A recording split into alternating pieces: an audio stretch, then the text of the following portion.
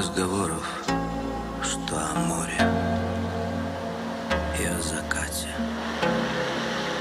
Там говорят о том, как чертовски здорово наблюдать за огромным огненным шаром, как он тает в волнах, и еле видимый свет, словно от свечи, горит где-то